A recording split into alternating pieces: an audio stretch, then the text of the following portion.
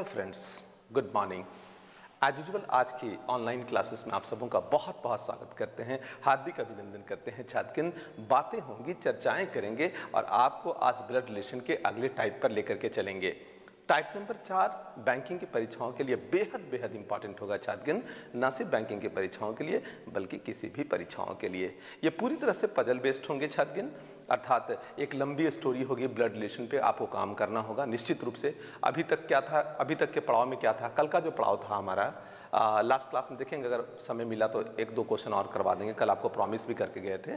तो ये क्या होगा कि एक लंबी स्टोरी होगी एक कहानी बेस्ड होगा कि इतने परिवार में सदस्य हैं वो इससे विवाह किया है वो इससे विवाह किया है। इस प्रकार का पूरा कहानी इसमें चलता है। तो उसी अंदाज में इस पजल बेस को हम लोग सॉल्व करने का प्रयास करेंगे। इस पर काम करने की आवश्यकता है। बहुत बहुत काम कीजिए। लगातार प्रैक्टिस कीजिए इसमें, क्योंकि जब तक आप रीजनिंग जैसे विषयों पे या मैथ्स जैसे विषयों पे प्रैक्टिस नहीं करते, ये पूरी कहानी प्रैक्टिस सेशन पर है। लगातार आपकी अच्छी प्रैक्टिस इस चैप्टर पे आपको मास्टर बना सकता है छतगिन इस बात का विशेष रूप से ख्याल रखें। तो आइए आपका बहुत बहुत स्वागत करते हैं ब्लड रिलेशंस के पजल ग्राउंड पे। देखिए, पूरी कहानी क्या है? टाइप नंबर चार हम हेडिंग क्रिएट कर दिए हैं। ब्लड रिलेशन आपका चैप्टर चल रहा है। ये अंतिम पड़ाव है। आज इसको लंबा खींचेंगे पूरी क्लास को। देखिए, कहता क्या है? A B D F G H और के कितना लोग हो गए? सात लोग। एक, दो, तीन, चार, पाँच, छः, सात। एक परिवार के सात सदस्य हैं। कोई भी एक फैमिली के सात सदस्यों का ब्यौरा है। ये अलग अलग तीन पीढ़ियों के हैं। थ्री जनरेशन है इनका। Generation one generation two generation तीन। ये अलग अलग तीन पीढ़ियों के हैं। इनमें दो अलग अलग पीढ़ियों के दो विवाहित जोड़ा है। इनमें दो अलग, दो ठो विवाहित जोड़ा है, बस। यही सब क्वेश्चन का ये ट्रेंड है कि दो कपल होगा, उसके बच्चे होंगे, किसी में आपको दे देगा वो फुटबॉल खेलता है, क्रिकेट खेलता है पजल ब्लड रिलेशन का पजल एरिया एच के पुत्र डी का विवाह कैसे हुआ है? एफ़ पोती बस देखिए, इतना ही से आपको सारा काम करना पड़ेगा। एच के पुत्र डी का विवाह कैसे हुआ है? एफ़ पोती है बी की जी का पिता ए का ग्रैंडफादर है बी का पति के का ससुर है एच का केवल एक पुत्र एवं पुत्री है।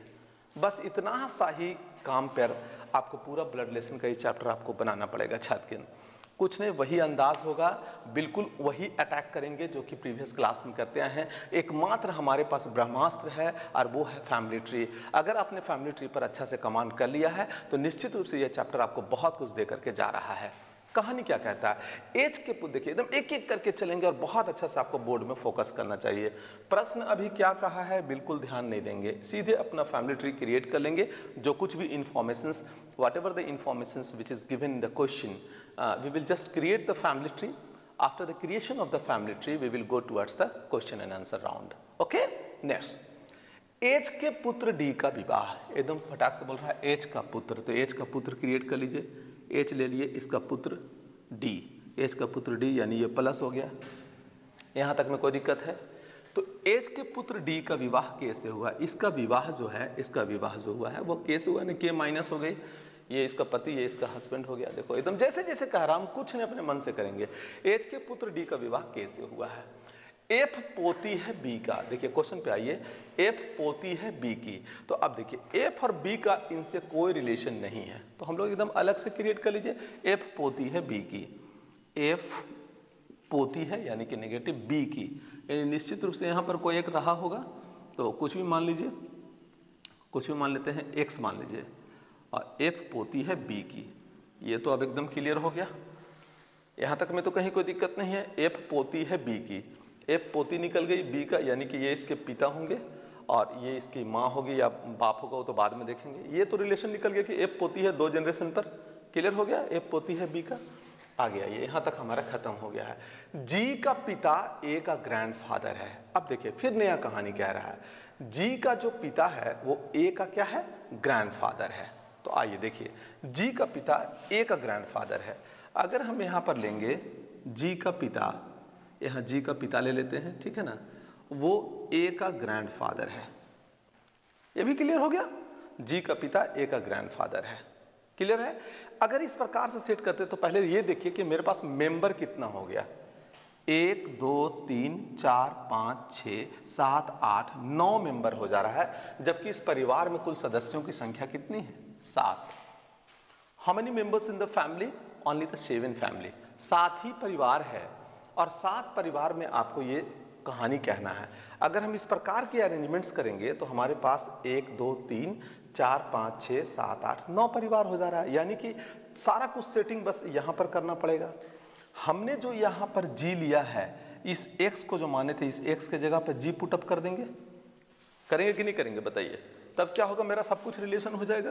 तो यहाँ पर फटाक से क्या कीजिए, जो अपने एफ़ का जो पिता है, उसको हम लोग यहाँ पे जी मान लीजिए।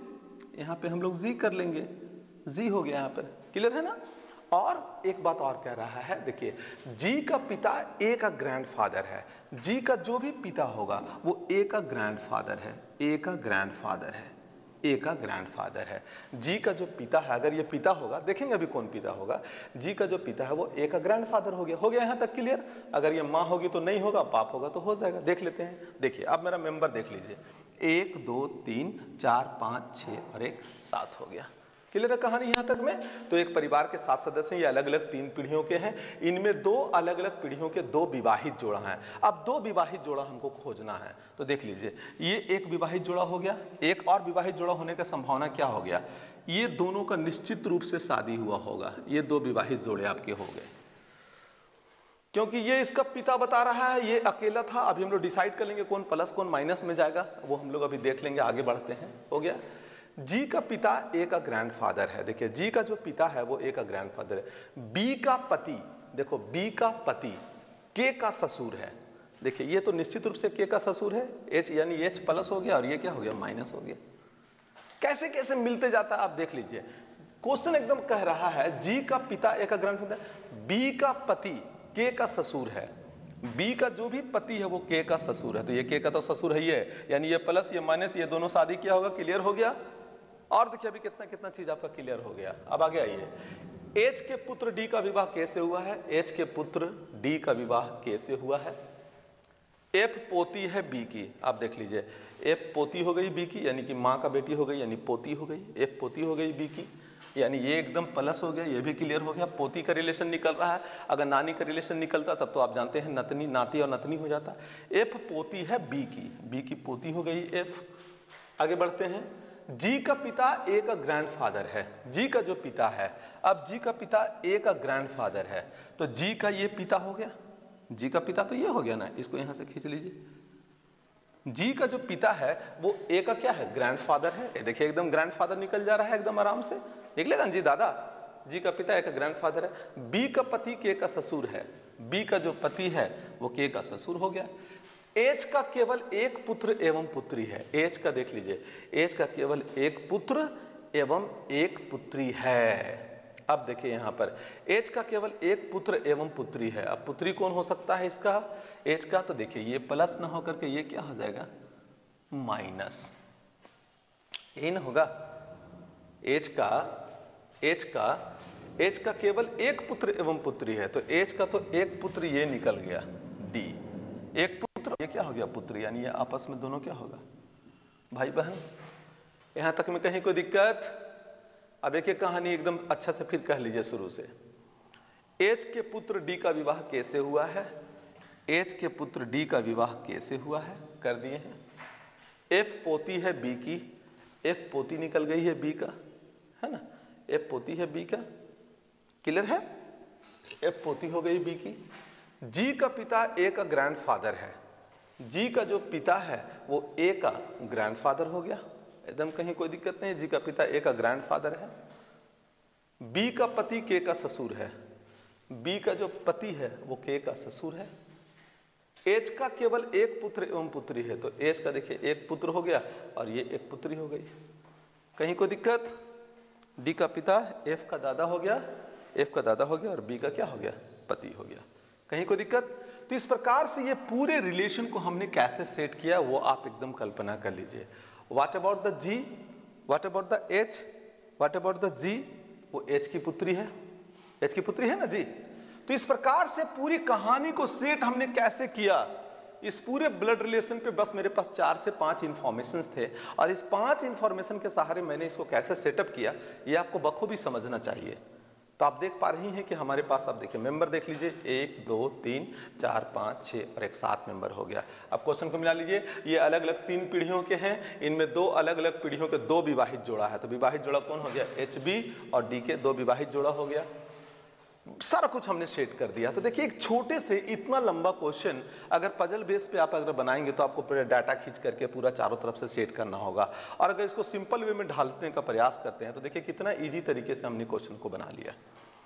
तो आपको मैंने कई बार कहा है छात्रगण कि यदि आप सिर्फ़ और सिर्फ़ अपने आ, इस पर कमांड कर पाने में कामयाब हो जाते हैं जिसको कहा जाता है फैमिली ट्री के निर्माण में ये चैप्टर आपके लिए बहुत बहुत आसान होगा। और थोड़ा सा लिरिकल अप्रोच लिरिकल अप्रोच कहता क्या है कि भाई थोड़ा सा हम इसको मिला करके चले। उससे क्या रिलेशन निकलता है? वो अपने आप में आत्मसात करें। यहाँ निकल रहा है कि जी का पिता है, ये इसकी माँ है, ये इसका बेटी और बेटा है। ये स्पष्ट एकदम निकल रहा था। तो इस तरह से अगर आप करेंगे छात्रगण तो निश्चित रूप से आप मान के चलिए कि आप एकदम से अच्छा परफॉर्मेंस कर पाने में कामयाब हो जाएँगे। क्लियर ना थोड़ा सा फैमिली ट्री पे काम कीजिए और बाकी स्केच देखिए मेरा। घर में बैठ के खुद प्रैक्टिस कीजिए कि, सर, इसको ऐसे कैसे कर दिए? ये भाई बहन कैसे निकाले हैं? इसको क्रॉस कैसे कर दिए? इन दोनों की शादी कैसे कराए? वो खुद आप अजम्सन करके इसको निकाल सकते हैं। अब आइए, इससे एक नहीं पाँच पाँच क्वेश्चन होते हैं और इन पाँचों क्वेश्चन को हल करने का प्रयास करते हैं। पाल ये पूरा दिख रहा है ना? पूरा बच्चों को? बच्चों को बोर्ड दिख रहा है ना? ये पाँच नंबर दिख रहा है यहाँ पर ये पाँच नंबर इधर, पाँच नंबर ठीक है, चलिए, बहुत अच्छा। चलिए तो पहला क्वेश्चन कहता है कि के का जी से क्या संबंध है? आइए अब एक एक रिलेशन निकालेंगे। के का जी से क्या संबंध है? आ जाइए मेरे पास के और यहाँ पर है मेरा जी। एकदम देखिए, बहुत अच्छा से निकालिएगा। के का जी से क्या संबंध होगा? देखिए, कैसे जोड़ेंगे? के का ये कौन है? के का ये कौन हो गया? पति। पति के बहन को। के क्या कहेगा? बताओ। के अपने पति की बहन को क्या कहेगा? ननद। ननद कहेगा ना? तो आंसर यहाँ पर क्या है? सिस्टर इन लॉ कितना एजिस निकल गया तो पहला आंसर हो गया सिस्टर इन लॉ कोई दिक्कत? सेकेंड निम्नलिखित में से कौन विवाहित महिलाओं का जोड़ा है? विवाहित महिला का जोड़ा, विवाहित महिला का जोड़ा। तो महिला का जोड़ा कौन कौन हो जाएगा? बी और जी विवाहित महिला कौन कौन हो जाएगी? एगो बी है और एगो जी है। तो ऑप्शन में खोजते हैं बी और जी कहीं पर है। कहीं पर बी और जी नहीं इसलिए आंसर क्या हो जाएगा? नन घबराइएगा नहीं एकदम क्या मेरा गलत हो रहा है ऑप्शन नहीं आ रहा है बिल्कुल नहीं। आपका एकदम सटीक चित्रण वहाँ हो चुका है, इसलिए वो गलत होने का संभावना नहीं है। एफ़ का जी से क्या संबंध है? अब आइए। एफ़ का एफ़ का जी से मतलब जी इसको क्या कहेगा तो जी इसको क्या कहेगी? पुत्री कहेगी? देख लीजिए जी पुत्री कहेगी। यहाँ खोजेंगे ऑप्शन एफ़ का जी से क्या संबंध है? मतलब जी क्या कहेगा? एफ़ को। तो जी एफ़ को क्या कहेगा? पुत्री कहेगा? पुत्र भतीजा नीच डाटा पर्याप्त नन ये भी आंसर क्या चला गया? नन में दोनों आंसर आ गए एफ़ का संबंध जी से क्या? जी पुत्री है तो स्पष्ट निकल रहा है वहाँ पे जी पुत्री है एफ़ का। क्लियर हो गया? आगे। इनमें महिला सदस्य कितने हैं? आइए महिला सदस्य काउंट कर लेते हैं। तो महिला सदस्य एकदम कंफर्म महिला सदस्य कितना हो जाएगा? एक दो तीन। ए का तो पता नहीं चल रहा है हम लोग का। ए पता चल रहा है क्या? हम्म? ए पोता है कि पोती है? ए, पता चल रहा है? एच और बी का? एच और बी का पोता है कि पोती, ये तो कंफर्म नहीं हो रहा है। इसलिए एग्जैक्ट महिला सदस्य नहीं कर सकते तो इनमें महिला सदस्य कितने हैं तो डाटा पर्याप्त हो गया आपका। क्लियर ना? क्योंकि ए का जेंडर नहीं पता चल पाया कि ये पुरुष है कि महिला है। तो सीधे सीधे पर्याप्त हो गया। एच का बी से क्या संबंध है? अब देखिए एच का बी से क्या संबंध है? तो क्या संबंध है आपको बताने की आवश्यकता है? एच का बी से क्या संबंध है? दोनों हस्बैंड वाइफ है, लेकिन यहाँ पर पिता, ससुर अंकल डाटा पर्याप्त नन तो एच जो है बी जो है, इसको क्या कहेगा? पति कहेगा? यहाँ पिता दे दिया है तो यहाँ पर भी आंसर क्या हो जाएगा? नन सो केवल एक आंसर निकाल पाए सोचिए छात्र अगर इस प्रकार सा क्वेश्चन आपका एग्ज़ाम में आ जाए तो आप लोग तो एकदम से घबरा जाएँगे कि अरे बाप रे बाप, चार का तो नन आंसर आ गया था, एक का ही आंसर आया था। ये पॉसिबिलिटीज हो सकता है, इसलिए कभी घबराने का आप प्रयास ना करेंगे। और पूरी तरह से पजल बेस की जब हम सब बातें करेंगे तो पजल बेस में आप पूरी तरह से वही कहानी कहेंगे, जो कि हम सबों ने इसमें अपने फैमिली ट्री के रिस्पेक्ट में कहा है। तो फैमिली ट्री का पूरी अच्छी तरह से निर्माण करेंगे, और निर्माण करने के बाद इसको अच्छी तरह से स्केच करके सारे प्रश्नों का जवाब देंगे। ठीक है ना? आज हम आपको कई क्वेश्चन इस पजल बेस पे कराएँगे, छात्रगण। अब आपको अगले प्रश्न की ओर लेकर चलते हैं। उम्मीद करते हैं कि ये पूरे प्रश्न आपको बहुत बहुत अच्छा से समझ में आया होगा, और बहुत अच्छे से आपने सीखने का प्रयास किया होगा। चलिए, अगले प्रश्न की ओर आपको लेकर के चलते हैं। तो छात्रगण एक क्वेश्चन पे देखिए हम सब यहाँ पे जो डिस्कशन अभी किए क्वेश्चन नंबर तीन पे एफ़ का जी से क्या संबंध है? वो निकाल लिए थे ना? हाँ वो तो नन आंसर आ गया था। तीन नंबर में हाँ एफ़ का जी से क्या संबंध है? एफ़ का जी से तो ये तो निकल ही गया ना एफ़ का जी से क्या? ना डी का जी से कोई है क्वेश्चन क्या? निम्नलिखित में से कौन विवाहित महिलाओं का जोड़ा है? निकल गया। एफ़ का जी से क्या संबंध है? क्वेश्चन एक सेकेंड जरा रुक जाइए। एफ़ का जी से क्या संबंध है? एफ़ का जी से क्या संबंध है? या is the right answer F का जी से क्या मेरा संबंध है? तो देख लीजिए जी का ये क्या हो गया?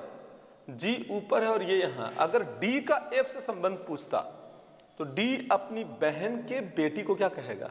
तो भगनी कहेगा। ये आंसर निकल करके आ जाता नीस के रिस्पेक्ट में। लेकिन जी का एफ़ से संबंध पूछ रहा है, प्रश्न स्पष्ट है।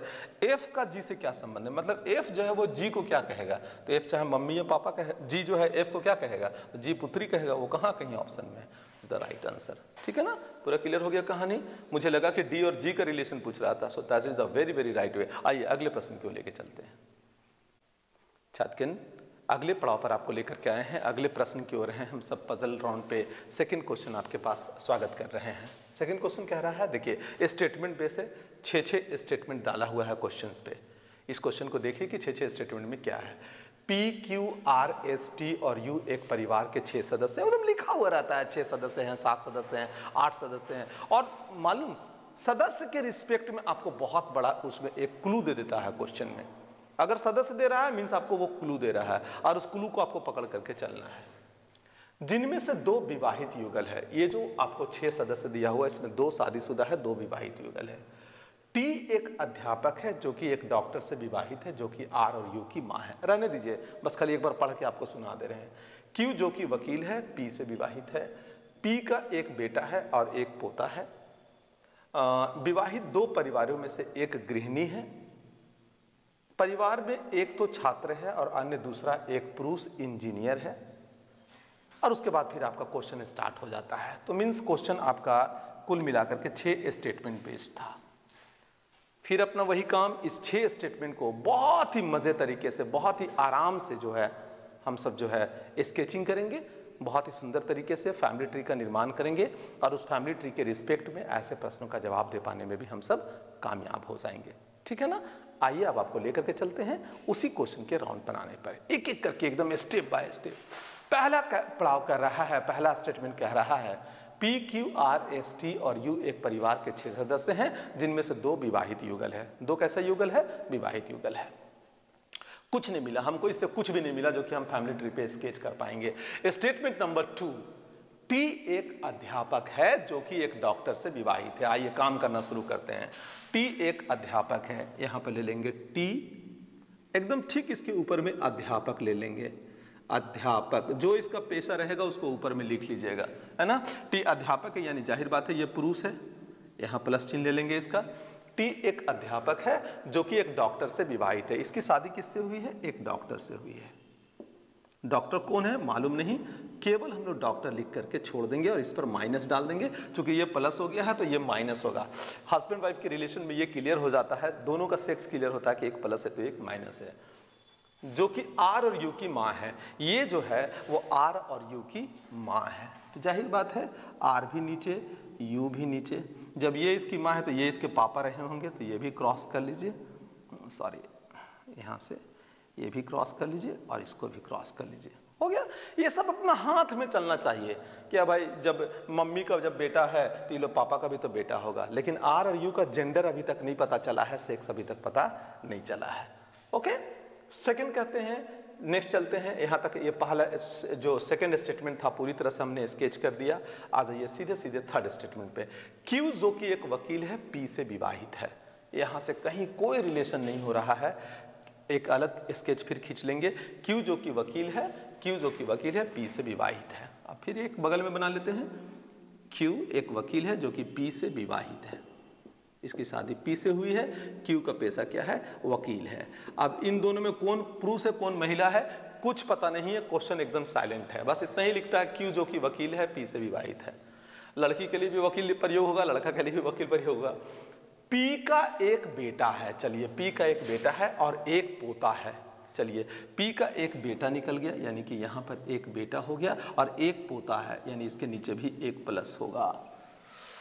तो पी का जो, पी का एक बेटा है, इस बेटा को यहाँ कर लेते हैं, ठीक है ना? और एक पोता है। तो पी का एक बेटा है और एक पोता है, यानी उस बेटे की भी शादी हो चुकी है। नीचे देखेंगे बाद में क्या होता है सब। क्लियर है ना? कहानी क्लियर है। अब देखिए, सदस्य कितना हो गया? छह ही सदस्य है। मेरे पास सदस्य कितना हो गया? एक, दो, तीन, चार, पाँच छ ले, छह सदस्य हो गया मेरा तो। एक परिवार के छह ही सदस्य हैं। तो छह सदस्य तो मेरा अब खत्म हो गया। अब हमारे पास बता क्या है? देख लीजिए। एक, दो, तीन, चार, पाँच। यानी डॉक्टर डिसाइड हो गया मेरा। पी इंगेज हो चुका है इंगेज हो गया। क्यू इंगेज हो चुका है इंगेज हो गया। आर इंगेज हो चुका है यू इंगेज हो चुका है टी यानी कि डॉक्टर मेरा कौन हो गया? हंड्रेड परसेंट कौन हो गया? एस देखिए, यही सबसे बड़ा इसका पहलू है छात्र एक परिवार में कुल सदस्यों की संख्या कितनी दी हुई थी? छह सदस्य दिया हुआ था। हम यहाँ पर सदस्य कितना खींच लिए? एक, दो, तीन, चार, पाँच छः सात, आठ हो गया। आठ कहाँ से आ गया? जबकि मेरे पास छः ही है। तो छः सदस्य को देखिए, हम लोग कितना अच्छी तरीके से यहाँ पे सेट कर लिए। ये नीचे जो दिया गया, हम लोग कुछ नहीं लेंगे, कोई है नहीं है। परिवार में सदस्य नहीं दिया हुआ तो हम लोग क्या करेंगे? वो सिर्फ़ कह रहा है कि पी का एक बेटा है और एक पोता है। कौन बेटा है, कौन पेता है? ना तो सदस्य में दिया हुआ, ना कुछ दिया हुआ। मेरे पास छः सदस्य निकल करके आ गया। P Q R S T और यू एक परिवार के छः सदस्य हैं। एक परिवार के छह सदस्य हैं, उस परिवार में और भी कई सदस्य हो सकते हैं। उस परिवार के छह सदस्य हैं, ये इंडिकेट कर रहा है क्वेश्चन में। तो उसके आधार पर हम सबों ने इसको यहाँ पे इंडिकेट कर दिया। नेक्स्ट क्वेश्चन यहाँ पे क्या कर रहा है? आगे के पॉइंट्स पे हम लोग चलेंगे। पॉइंट नंबर चार कर रहा है पी का एक बेटा है, यानी कि पी का क्या है? एक बेटा है तो पी का एक बेटा स्केच कर लिए। और पी का एक पोता भी है, अर्थात पी के जस्ट नीचे एक पोता क्रिएट कर दिए। क्लियर आगे चलता और कहता है कि विवाहित दो परिवारों में से एक गृहिणी है। अब दो विवाहित जोड़ा है, दो कपल हो गया। एक तो आप देख पा रहे हैं, टी और एस एक कपल हो गया और एक हो गया की और पी में। उसमें से एक गृहिणी है। अब देख लीजिए, टी अध्यापक है और एस आपका क्या था? डॉक्टर। ये तो मेरा क्लियर था। यहाँ पे क्यू क्या है एक? लॉयर है, यानी कि वकील है। और एक कह रहा है, क्वेश्चन पे गौर करेंगे छात्रगण विवाहित दो परिवार में से एक गृहिणी है तो एक अध्यापक हो गया, एक डॉक्टर हो गया, एक वकील हो गया तो मेरे पास बचा कौन? एक ये पी बच रहा है और इसके बारे में ये कह रहा है कि ये गृहिणी है। तो इसको राइट डाउन कर लेंगे। अब अकॉर्डिंगली हम लोग क्वेश्चन को एकदम कैचअप कर चुके हैं। नेक्स्ट छठा नंबर पॉइंट्स कहता है कि परिवार में एक तो छात्र है। अब छात्र होने की संभावना किसकी हो गई? टी इंगेज हो चुका है अपने आप को अध्यापक बना करके एस इंगेज हो चुका है अपने आप को डॉक्टर बना करके क्यू इंगेज हो चुका है अपने आप को वकील बना करके पी इंगेज हो चुका है अपने आप को गृहिणी बना करके। मेरे पास बस दो ही बंदा बच रहा है, एक है आर और एक यू ओके आर और यू के बारे में क्या कहता है कि परिवार में एक तो छात्र है और अन्य दूसरा एक पुरुष इंजीनियर है। यानी इन दोनों की पॉसिबिलिटीज हो गई कि एक छात्र हो जाएगा और एक पुरुष इंजीनियर हो जाएगा। कौन छात्र होगा और कौन पुरुष इंजीनियर होगा? अभी हम सब नहीं कर सकते क्योंकि इन दोनों का सेक्स यहाँ पे दिया हुआ नहीं था। इन दोनों का जेंडर क्लियर नहीं है, इसलिए हम अभी ये कंफर्म नहीं हो सकते हैं कि इस स्थिति में परिवार में एक तो छात्र है और एक अन्य दूसरा पुरुष इंजीनियर है, ये डिसाइडेड नहीं हो पाएगा। मीन्स इन दोनों का जेंडर हम सब डिसाइड नहीं कर पाएँगे। स्केच खत्म हो गया हमारा, पूरी फैमिली ट्री का हमने निर्माण कर लिया। अब हम सब रिलेशन ढूँढने का प्रयास करेंगे कि इसके साथ क्या रिलेशन होगा। सीधे क्वेश्चन पे चलेंगे। पूरी क्वेश्चन आपके बोर्ड पे लिखे गए हैं छात्रगण देखिए क्वेश्चन क्या कह रहा है? पहला क्वेश्चन निम्न में से कौन गृहिणी है? अब देखिए, आप अपने आप से निकाल लीजिए, गृहिणी कौन है? टी अध्यापक है एस डॉक्टर है क्यू वकील है पी गृहिणी है। आंसर पी कहाँ पर है? तो आंसर हो गया P okay okay? Question number second क्या कर रहा है? निम्न में से कौन सा उस परिवार की स्त्रियों के वर्ग को प्रकट करता है? Mean who are the females one तो अब यहाँ फीमेल्स कौन कौन हो गया? एस एक फीमेल हो गई। पी का तो फीमेल होने का संभावना एकदम हंड्रेड हो गया। अब आ जाइए आर और यू का। आर और यू में कौन मेल है और कौन फीमेल है, ये तो डिसाइड नहीं कर सकते हैं। अर्थात यहाँ क्वेश्चन कह रहा है कि निम्न में से कौन सा उस परिवार की स्त्रियों के वर्ग को प्रकट करता है? तो स्त्री में बोल रहा है क्यू टी आर तो क्यू तो देख लीजिए आपका पहले से प्लस है। ये ऑप्शन खत्म हो गया। पी एस आर पी तो आपका महिला है, निकल गया। एस भी आपकी महिला है, निकल गई। आर के बारे में ये बोल रहा है महिला। क्या ये डिसाइड हो सकता था क्वेश्चन से? नहीं हो सकता था, अर्थात ये भी ऑप्शन काम से चला गया। पी एस यू के बारे में। पी महिला है एस भी महिला है यू महिला है, ये तो हम लोग कंफर्म नहीं कर सकते क्योंकि क्वेश्चन जेंडर क्लियर नहीं किया है, इसलिए ये भी क्वेश्चन चला गया। अर्थात यहाँ पर दे रहा है, आंकड़े अधूरे हैं।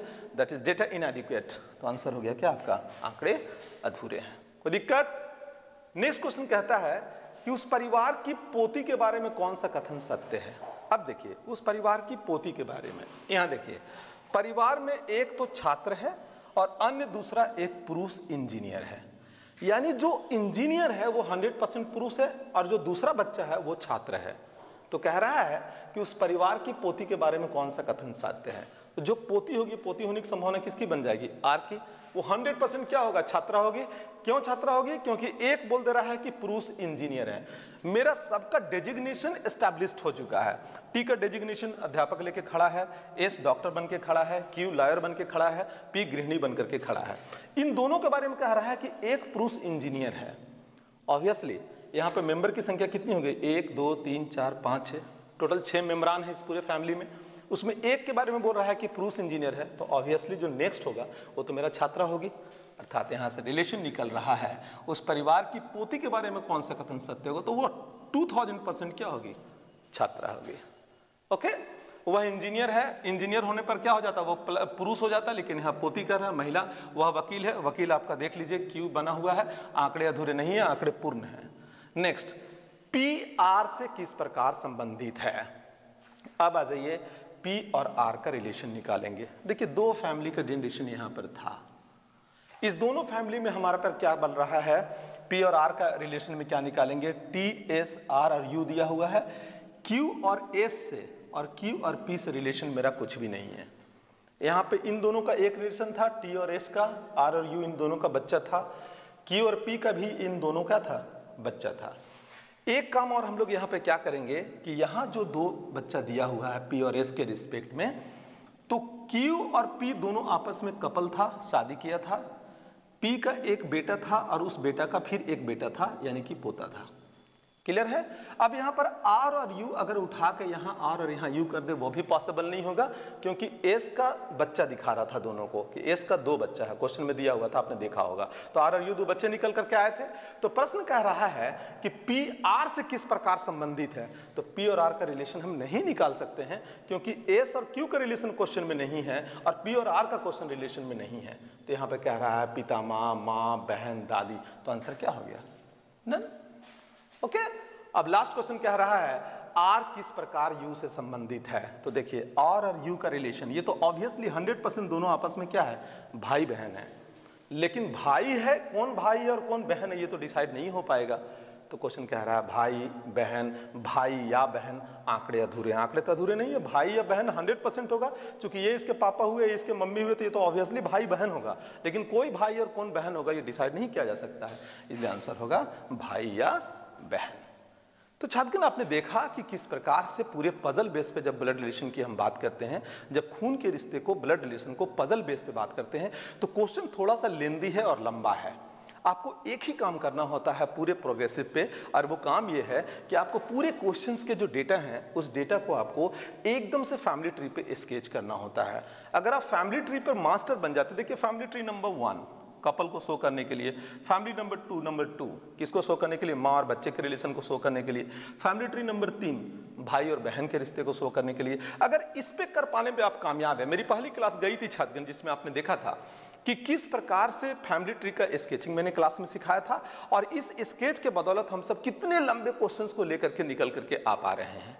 अगर आप इस ये चीज़ कर पाने में कामयाब होते हैं छात्रगण तो निश्चित रूप से ये चैप्टर आपका अपना होगा और बैंकिंग की परीक्षाओं में आपका पाँच नंबर पक्के से पका हुआ रहेगा।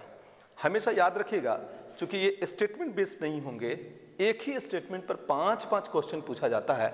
इसलिए अगर आप ये मन में सोच रहे होंगे कि हम इसको छोड़ के निकल जाएँगे तो वो बहुत बड़ा गलती होगा। इस पर आपको काम करना होगा। कई क्वेश्चन पे प्रैक्टिस कीजिए फैमिली ट्री पे लगातार मेहनत कीजिए। लगातार काम करते करते एक समय ऐसा आएगा, जब ये चैप्टर पूरी तरह से आपका हैंडी हो जाएगा छात्रगण तो उम्मीद करते हैं ये पूरी चैप्टर पर आप काम करेंगे और आपको अगले क्वेश्चन की ओर लेकर के चलते हैं। दो तीन क्वेश्चन और क्लास में करवाते हैं और रफ स्केच करवाते हैं।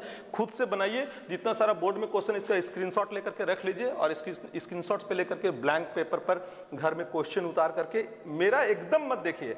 हम जो काम करते हैं, एकदम आपको नहीं देखना है, क्योंकि पीछे की तीन क्लास आपको दी गई थी और तीनों क्लास में मैंने पूरी तरह से एकदम इसको बहुत बहुत बारीकी से आपको समझाने का प्रयास किया है। तो उम्मीद करते हैं कि उस पूरे जो पीछे का प्रीवियस क्लास जो था आपका, उस प्रीवियस क्लास का आप पूरी तरह से फ़ायदा उठाएँगे फैमिली ट्री को सीख लेंगे स्केचिंग कैसे होती है और खुद को रिलेट करने का प्रयास करेंगे। एक बार आपने को रिलेशन शुरू कर दिया। देखिए, प्रश्न में नहीं था। प्रश्न में सिर्फ़ था कि टी और एस दोनों विवाहित जोड़ा है। हमने अजम्सन किया क्वेश्चन के आधार पर कि निश्चित रूप से इन दोनों का बच्चा होगा। अब बच्चा होगा तो ये पुरुष होगा कि ये महिला होगा क्वेश्चन में था नहीं। जो चीज़ नहीं था उसकी अजम्सन आप नहीं कर सकते हो। चूँकि यहाँ तो वन प्लस वन बराबर टू ही होना है। तो इस आधार पर आप उसको निर्माण करेंगे और घर में एक एक क्वेश्चंस को प्रैक्टिस करेंगे। हालाँकि पीडीएफ के रूप में आप लोगों को मैंने कई बार कहा है कि एक एक चैप्टर से हम लोग 10 से 15 से 20 क्वेश्चन अटैचमेंट डाल दे रहे हैं। चैप्टर को समझ करके उसको फिर अच्छी तरह से रिवाइज कर लीजिएगा। तो आगे की ओर लेके चलते हैं और अगले पजल पे चलते हैं, है ना? अगले पड़ाव पर है, अगले क्वेश्चन पे हैं हम सब और अगले प्रश्न की बात कर रहे हैं। कह रहा है क्वेश्चन तीन A B C D E और एफ़ एक परिवार के छह सदस्य हैं ओके परिवार में एक युगल और उनके माँ पिता और बच्चे हैं ओके ए सी का बेटा है और ई e, ए की बेटी है। ऐसे ही पढ़ दे रहे हैं। डी एफ़ की बेटी है जो कि ई e की माँ है। बस आपके पास चार इंफॉर्मेशन है। इसी चार स्टेटमेंट पर आपको पाँच क्वेश्चन बनाने हैं। तो परिवार में एक युगल और उनके माँ पिता और बच्चे हैं। कुछ भी आप नहीं कर पाइएगा। ए सी का बेटा है। चलिए फिर बनाते हैं आपके लिए। इसको मिटा पाना हम।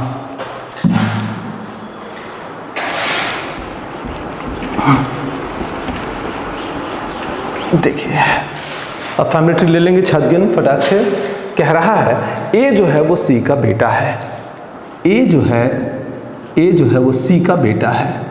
तो सी ऊपर हो गया ए प्लस हो गया, चूँकि ए को सी का बेटा बना रहा है। ए सी का बेटा और ई e ए की बेटी है। ई e जो है, वो ए की बेटी है। तो ई e को यहाँ पे बेटी कर दीजिए ए का। यहाँ तक में कोई दिक्कत? पहले पढ़ा दो क्या? डी एफ़ की बेटी है। डी जो है, वो एफ़ की बेटी है। डी जो है, वो एफ़ की बेटी है। डी एफ़ की बेटी है। यही चल रहा है अभी तक में, जो कि ई e की माँ है। ये किसकी माँ है? ई की। यानी कि ये इसकी माँ हो गई। यानी इन दोनों की 100 परसेंट शादी हुई होगी। ये इसके पिता हो गए। यही कहानी है। परिवार में कुल कितना सदस्य है? छः है। एक, दो, तीन, चार, पाँच हो गया। छठा सदस्य ज़ाहिर बात है कौन होगा? बी होगा। क्लियर है ना? छठा सदस्य कौन होगा? बी। लेकिन कुछ ने रिलेशन दिया हुआ है। हंड्रेड परसेंट बी और सी माता माता पिता होंगे। ये तो क्लियर हो गया। है कि नहीं क्लियर? बताइए आप। आइए। पहला क्वेश्चन निम्न में से कौन युगल के माँ पिता हैं? तो युगल के माँ पिता कौन होंगे? इस युगल के माँ पिता कौन होंगे? ये क्या कंफर्म कहा जा सकता है कि इसके माँ पिता एकदम कौन से होंगे? बीसी होगा। कौन, निम्न में से कौन युगल के माँ पिता हैं? तो बीसी बीसी के ही ना माँ पिता होने की संभावना होगा। उस युगल के युगल के माँ पिता में कौन से युगल के माँ पिता ये बता पाना संभव होगा? एकदम होगा तो माँ पिता कौन होंगे? बीसी ही होंगे तो 100 परसेंट इसका आंसर क्या हो गया? नंबर पहला। परिवार में पुरुष सदस्य कौन है? परिवार में पुरुष सदस्य कौन कौन होगा, बताइए। एक पहला पुरुष, एक पुरुष, इन दोनों में कौन पुरुष होगा, ये तो कंफर्म नहीं कहा जा सकता है। तो परिवार में पुरुष सदस्य कौन है? ए बी और डी आंसर तो ऐसे ही खत्म हो गया।